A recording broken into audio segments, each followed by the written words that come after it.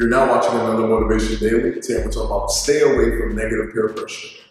Now, when I say stay away from negative peer pressure, I mean stay away from people around you that might try to influence you in a bad way, who may be in your age range or close to that, or even older, anybody who might try to tell you to do the wrong things. Avoid those people because nowadays there's so much negative things going on all around us. Sometimes I put on the news and all I see is negativity.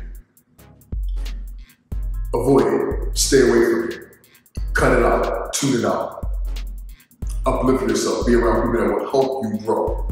And if you can't find that, focus on you and feed yourself the things you need.